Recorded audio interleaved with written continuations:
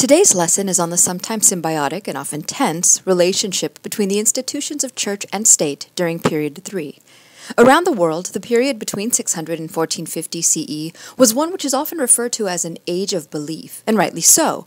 People felt a strong connection to their religious traditions and often saw no reason why their religious institutions shouldn't have some influence in secular political institutions. At the same time, though, these people did not want their political institutions to influence their religious ones, as this, they felt, raised the question of who was really speaking from their churches or temples. Was it God, or was it their king? So today, church and state, tensions between spiritual and political leaders.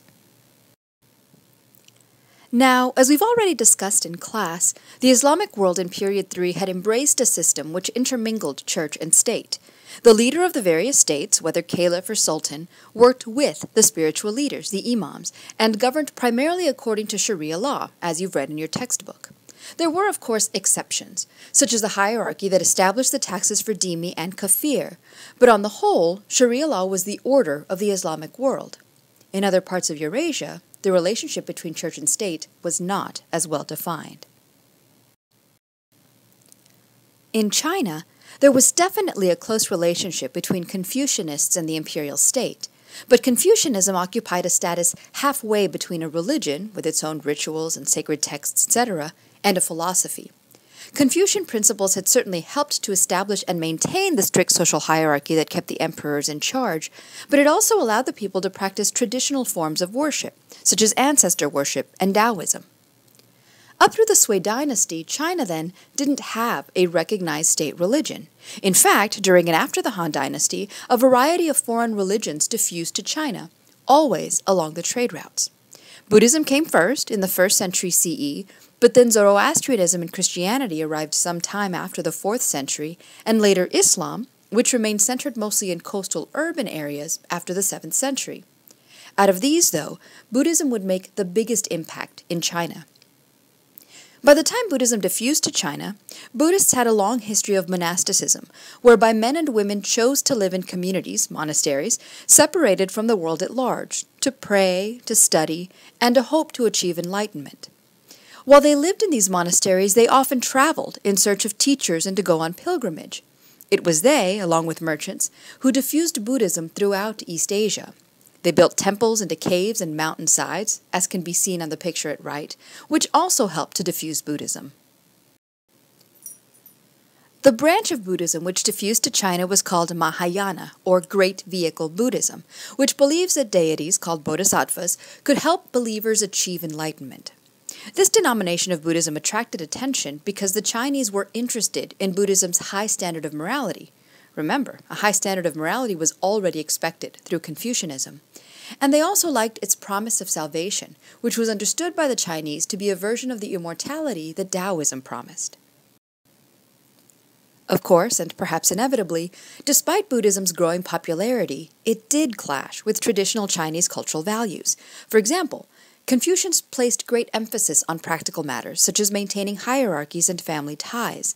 Buddhists, on the other hand, pondered metaphysical topics such as salvation. Buddhists also encouraged serious practitioners to live a celibate, monastic lifestyle to maintain their morality, advice which clashed with the Chinese ideal of moral living, which was filial piety, and large multi generational families who could continue worshiping family ancestors. In response to these tensions, Buddhism in China syncretized. Chinese Buddhists began by blending their beliefs with traditional Chinese vocabulary, and thus traditional Chinese values. For example, instead of referring to Dharma, which for Buddhists can refer both to the state of nature and the teachings of the Buddha in explanation of the laws of nature, Chinese Buddhists refer to Tao, which for Taoists also intertwined with knowing nature and its path. Perhaps in order to further assimilate Taoists, who had few written sacred texts, a new school of Buddhism, Chan Buddhism, emerged, which, like Taoism, emphasized meditation, intuition, and sudden flashes of insight in their search for enlightenment, as well as the ability to pray to bodhisattvas for help. For example, this image at the bottom right is of Kuan Yin, an East Asian goddess of mercy and sometimes included in the Taoist pantheon. She becomes a bodhisattva in Chan Buddhism. Additionally, to appeal to Confucianists, Buddhists modified their suggestions of celibate lifestyle, teaching instead that Chinese families could send one son to the monastery while their other children raised families. This one son, as a monk, could pray for his family and bring salvation to ten generations of his family's descendants. In addition to this syncretism, Buddhist acceptance probably also grew quickly due to its monastic tradition. Chinese Buddhists established monasteries throughout the countryside and accumulated estates thanks to donations from wealthy converts. These lands were cultivated and the surpluses stored, and then they were used to feed local residents during times of famine or drought. In other words, Buddhist monasteries served as a welfare system.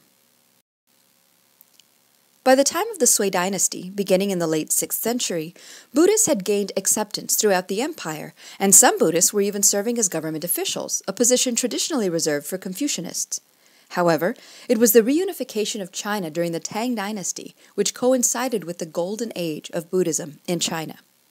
In particular, the reign of the Empress Wu, who died in 705, contributed to the acceptance and spread of Buddhism.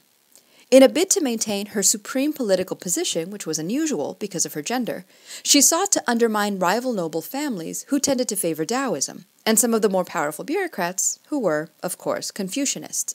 So she converted to Buddhism and encouraged the spread of Buddhism as a way to weaken her opponents. She endorsed the building of Buddhist temples and monasteries, and she ensured that the lands under Buddhist monastic control were tax exempt. They didn't have to pay taxes on the land they owned. Following her example, many devout Buddhists donated land and money to these religious centers, which, again, served partly as a social welfare system. Other Chinese used the Buddhist tax exemption as a tax shelter, as a way to protect their own wealth. Through special contracts with various monasteries, they donated their lands to a temple or monastery so as not to pay taxes on that land. But then they retained control over those lands, and they could tell the monasteries how to use, or not use, those lands. The Empress Wu and her immediate successor also used Buddhist festivals to celebrate their reigns and achievements, further mingling Buddhism with traditional Chinese beliefs. So it looked as though, at that point, Buddhism would be a success in China. By the middle of the ninth century, however, Buddhism was persecuted by Tang emperors. This reversal may have been the result of backlash against Empress Wu, who was widely viewed as having usurped the power of her third husband, whom she'd succeeded. But the backlash may also have been in part because of Buddhism's foreign roots. Some high ranking officials began questioning the adoption of a barbarian cult over Chinese grown religious and philosophical traditions, as well as the growing and sometimes ostentatious wealth of Buddhist temples and monasteries. Certainly, the extreme influence of the Confucian bureaucrats played a role in the backlash against Buddhism. As Buddhists had replaced some bureaucrats as confidants to the monarchs, the Confucianists had grown tired of being shoved aside, and they began to argue that the Buddhist monastic establishment threatened China's imperial order, and that the Buddhist clergy was conspiring to overthrow the Tang dynasty. In 845 CE, the Emperor Wuzong, a Taoist with many Confucian confidants, closed most of the nearly 5,000 Buddhist temples and monasteries in China. Those monks and nuns who had entered the monasteries, about 300,000 of them, were forced to return to living outside the monastery, and they became peasants, subject to extreme taxation where once they'd been tax exempt. While it seems that Wuzong's primary motivation was indeed political, it's also possible that this dissolution of Buddhist monasteries and temples had an economic component. These wealthy institutions had lots of precious metals, which the Tang emperors wanted and needed to maintain a good economy. Wuzong and his successors were able to bring the wealth of the Buddhist monasteries into their own treasury and confiscate the lands as their own. Chinese bureaucrats after this time were now almost exclusively Confucians, as elements of Buddhism were purged from the Chinese government. While the emperor could enforce a return to Confucianism among his officials, doing so among the people was much more difficult, and Buddhism not only remained within China, but it also spread to nearby states, such as Japan. By the beginning of Period 3, Japan was both similar to and different from the Chinese Empire. While China was already an empire, the Japanese had just started to unify under the leadership of the Yamato clan. But the Yamato did use a Chinese import, Confucianism, to help them establish and maintain a political hierarchy. The Japanese, like the Chinese, had long practiced ancestor worship. But in Japan, ancestor worship was a formalized religion called Shinto, or the Way of the Deities. Shinto practitioners believed that, after death, a person's soul became a kami, a local deity. Under the Yamato clan, the Japanese worshipped both their kami and the Yamato ancestors, which gave the Yamato clan even more power. Additionally, the Yamato emperors, and emperors after them, claimed to be descended from the sun goddess Amaterasu, the primary Shinto deity and creator of the Japanese islands. I hope this image of Amaterasu reminds you of the Japanese flag. The rising sun right in the middle of that field of white, the sun goddess. Do you get it? In the 7th century, Buddhism, in the form of Chan, or as it was known in Japan, Zen, spread to Japan and, as it had in China, syncretized with Shinto.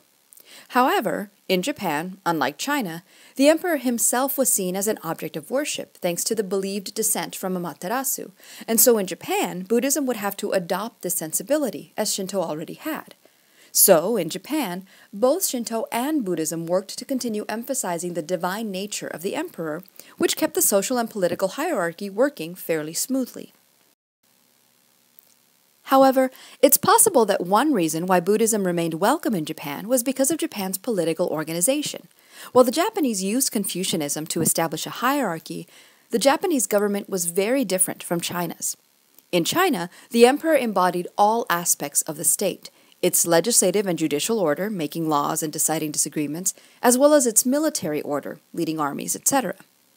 In Japan, though, beginning in the 800s, the 9th century CE, the government included a split between a public imperial authority, the legislator, the emperor, and a separate executor or agent of rule, the shogun, who basically served as a judge and as a military leader. While the emperor maintained his court, and often in a capital city separate from that of the shoguns, the shogun's job was to control a feudal state in Japan. The shogun ruled effectively through his vassals, the provincial lords, called the daimyo, who in turn depended on their vassals and soldiers, the samurai. Set up similarly to European feudalism in terms of obedience and loyalty relationships, in Japan the real power lay with the shogun, who controlled these professional warriors. Like European knights, who practiced a code of conduct known as chivalry, the samurai had their own code of conduct known as bushido.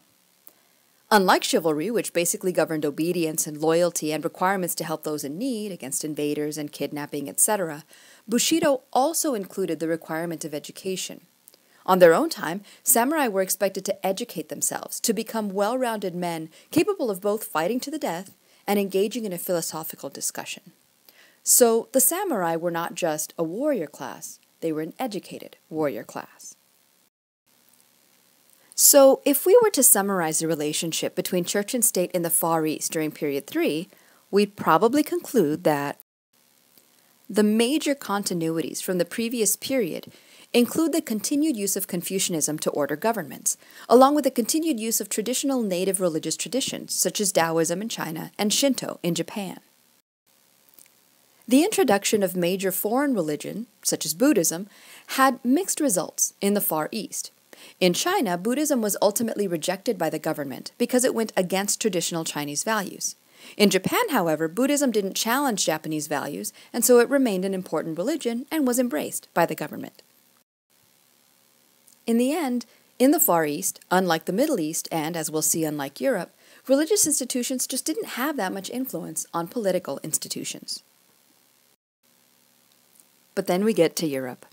As I mentioned, undoubtedly because of the adoption of Christianity as the Roman Empire's religion in the late 4th century, church and state were more closely linked in Europe than in the Far East. Another reason why this may have been was simply because of organization. The Christian church throughout Europe and the Near East was an institution and was formally organized as such, unlike the religious traditions of the East. For example, in the early centuries of Christian diffusion, the disciples of Jesus of Nazareth, who led single churches or congregations, came to be recognized as priests of the Christian church. Over time, greater organization was needed, and so some priests were given authority over multiple churches in a given area, called a diocese. These more influential priests were called bishops in the West and patriarchs in the East. That said, the Bishop of Rome is special.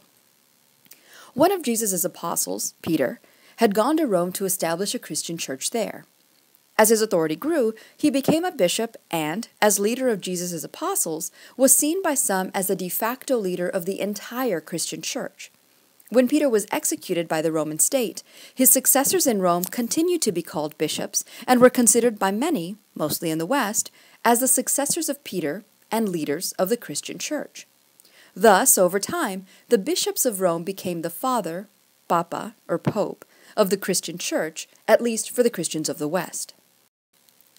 Some devout Christians chose to isolate themselves from their communities so that they could live a life of prayer and dedication to God. The development of Christian monasticism may well have been influenced by the tradition of Buddhist monasticism. Christian missionaries probably encountered Buddhist monks and nuns as they diffused Christianity. Unlike Buddhist monasteries, though, Christian monasteries were cloistered, completely separate from the outside world and self sustaining, as you can see from the images at right. The men, called monks, and women, called nuns, who chose to join a monastery lived lives in service to God. They were led by either an abbot for the men or an abbess for the women, who organized work and prayer schedules and who interacted with the outside world on behalf of their brothers or sisters within the monastery walls.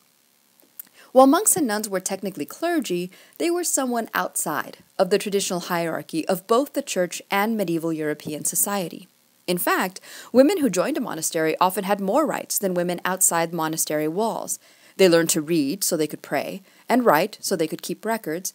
They lived generally free of male interference, except for their local priest or bishop, who served as their own priest, and could occupy leadership roles, such as that of the abbess. Monastic lives notwithstanding, by 600 CE, the Christian Church had also developed a clerical hierarchy, a hierarchy for the clergy, which was both social and political in nature. Let's start at the bottom of the hierarchy to get a sense of how this worked. We've already discussed priests and bishops, who originated as disciples coordinating the spread and worship of Christianity in the early years of Christian diffusion. In order to become a bishop, a man had to be ordained a priest first, so all bishops are also priests. An office below that of priest, the deacon, also developed. Deacons served as helpers to the priests. They maintained records, they helped organize and celebrate the Mass, the Christian worship service, and they helped priests keep up with the demands of helping their congregations. As the Christian world grew larger, greater organization was required. Archbishops, who controlled multiple dioceses, were put in charge of coordinating the work of the various priests and bishops under their control. As archbishops also controlled the church lands in their various dioceses, archbishops could be very powerful and influential political figures as well. Again, all archbishops began their rise up the church hierarchy as priests. So men at this and higher levels of the church hierarchy were often related to noble families so that they could get a lead up in moving up the hierarchy. And they often had not just spiritual and religious influence, but also political influence, thanks to their families across Europe. Over time, some archbishops received a new designation, cardinal. Generally speaking, cardinals helped to coordinate the papal bureaucracy both in Rome and throughout the Christian world. They were in charge of overseeing the work of archbishops and also often served as diplomats from the papal court to various European states. Cardinals were also the priests who were eligible to elect the pope. And finally, at the top of the pyramid, we had the Pope, or the Pontiff. That's why we call a papal reign a pontificate. Traditionally, also the Bishop of Rome, the Pope led the entire institution of the Christian Church. As Pope, tradition held that this man made final decisions regarding doctrine, or teachings, and dogma, or beliefs, of the Christian Church. In practice, he depended on the advice of his closest advisers, usually both cardinals and archbishops. The image you see here of the Triple Crown is the official papal crown. The three levels indicate the Pope's authority. He is above a king. That's just the first level. He is above an emperor. That's just the second level. He is a spiritual authority. That's the third level. In fact, this is good symbolism for looking at European medieval artworks. If a person is wearing a single crown, he or she is a king or queen. If they're wearing a double crown, that indicates that they are an emperor or an empress. And of course, only the Pope wears the triple crown. The Pope was, however, also a secular ruler. He was the Duke of the Papal States in Italy. So his authority was both spiritual, and he was influential throughout all of the Christian world, and political. particularly as the ruler of the Papal States. As you might imagine, this dual role caused some conflict between the Pope and secular rulers in Europe. However, this landed wealth also caused increasing problems. As strong kings emerged in Europe, especially after 1000 CE, they became interested in the church's wealth, and they were often related to the high ranking clergy members.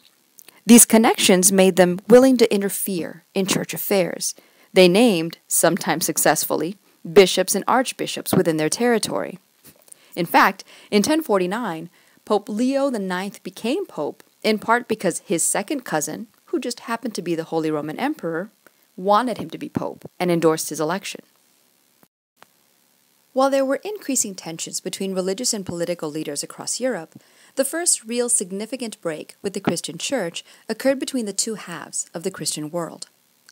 There were a variety of disagreements at the heart of what would be the Schism of 1054, and they ranged between both political and religious issues. In the political sense, Eastern bishops, again called patriarchs, had long disagreed with the idea that the Pope was the undisputed head of the Christian Church. They preferred to make important decisions as a council, and to have the chairperson of that council, the Patriarch of Constantinople, announce these decisions. They didn't feel that the Bishop of Rome, they didn't even call him the Pope, had any special status. Additionally, Western and Eastern clergy disagreed on an important element of dogma. In the East, they believed that the Holy Spirit was sent from God the Father. In the West, the belief was that the Holy Spirit was sent from both God the Father and God the Son, as implied in the Gospels. In the West, Christians had revised the Nicene Creed to reflect their belief in 450 and had added what was known as the filioque and the Son clause. The East had continued using the original Nicene Creed and they refused to accept the revision. Pope Leo IX and the Patriarch of Constantinople excommunicated one another for their perceived unorthodoxy on these issues. Excommunication is a banishment from the community, so each of these church leaders banished one another and all of their followers from their respective churches.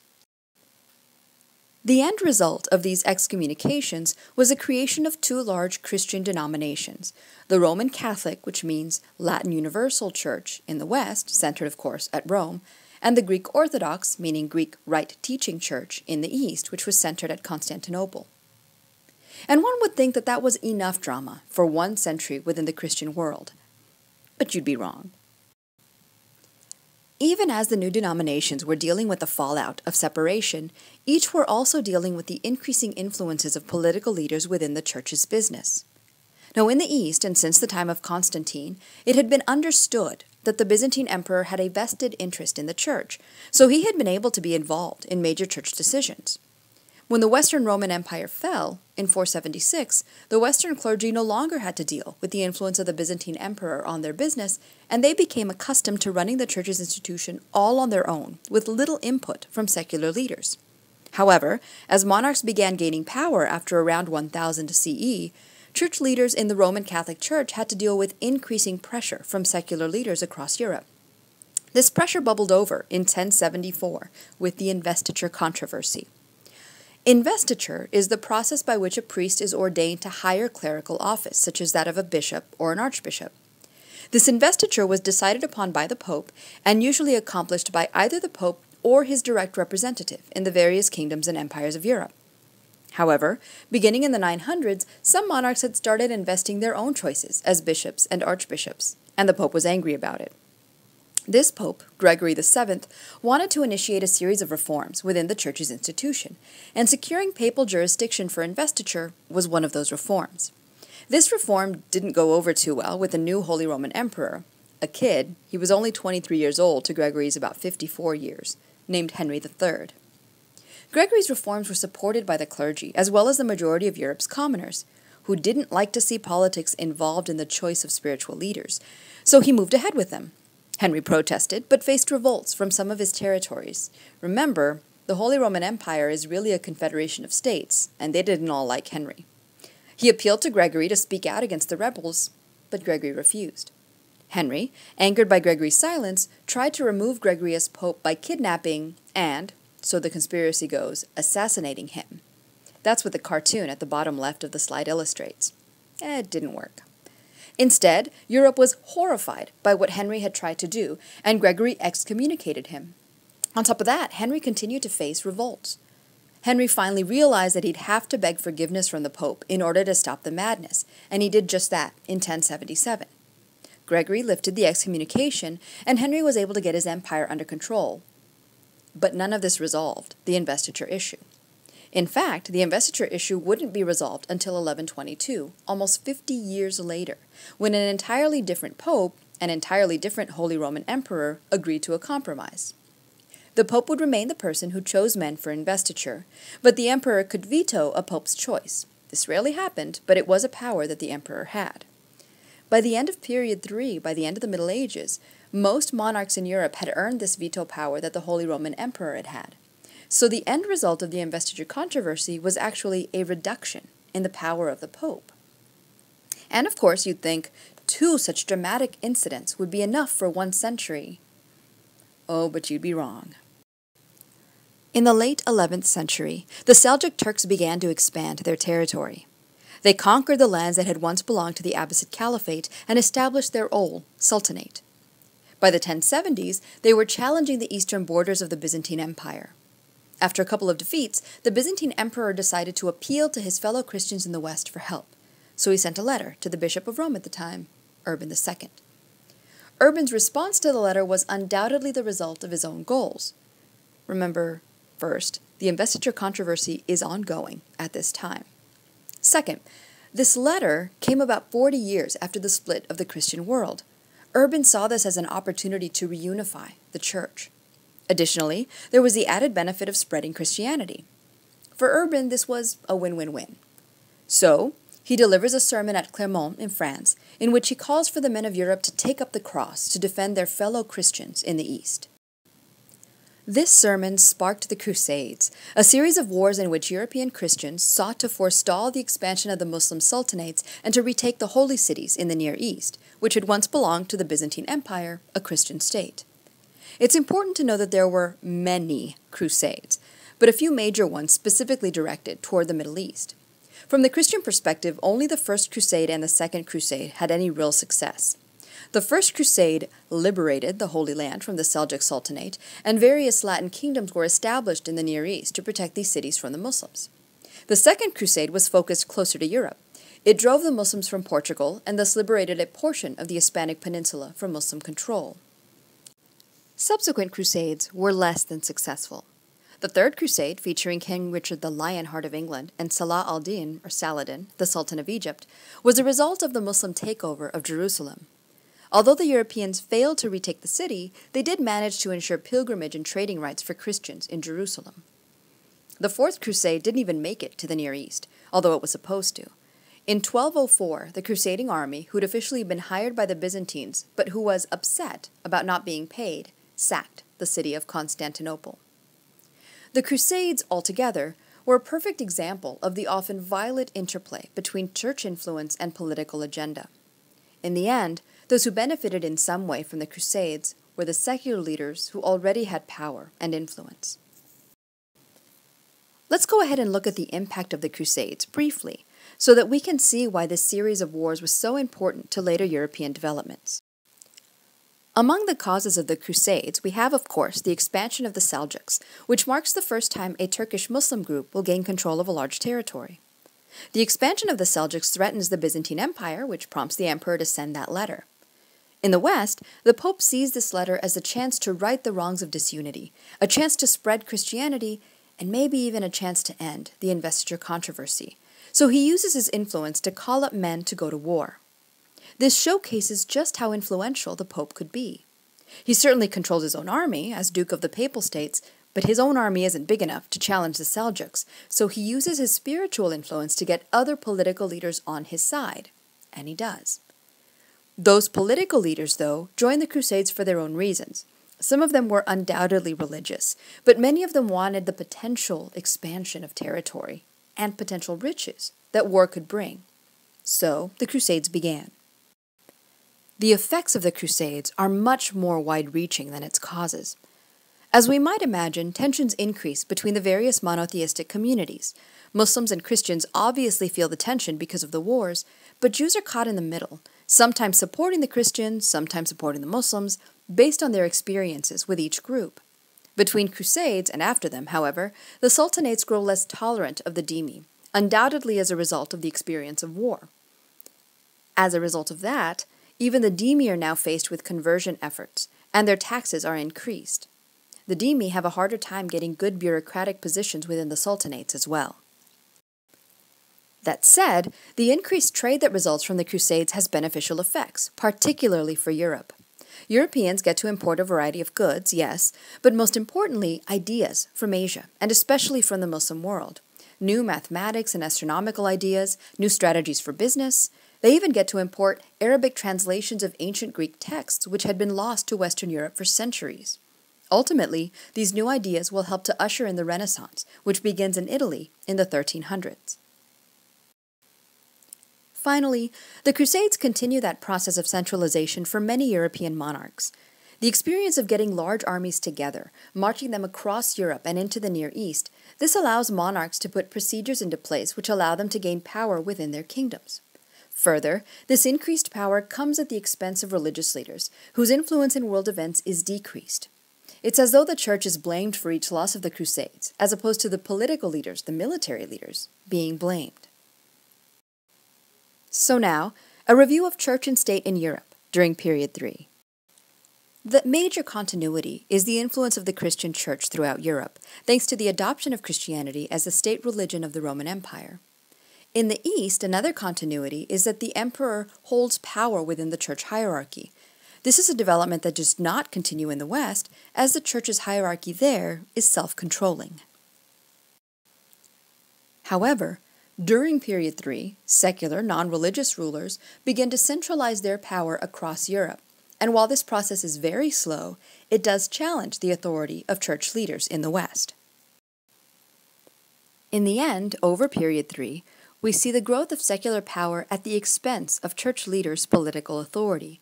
This was a very slow process, and it in no way challenges the religious and spiritual influence that church leaders continue to have in Europe, not just throughout period 3, but well into period 4. And there you have it church and state in period 3.